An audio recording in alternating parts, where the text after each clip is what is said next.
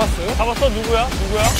짐 쌌어? 난 안 쌌어. 알바라도 하고 싶다. 이거. 아 오늘따라 쇼파가 커 보인다 benefit 효과가 있습니다 이번 30분 좀 피 말리는 것 같아. 얼마나 반전이길래?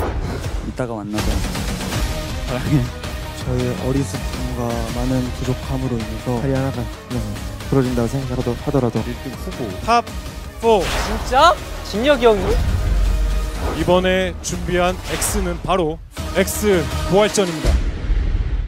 We are K-pop Mnet.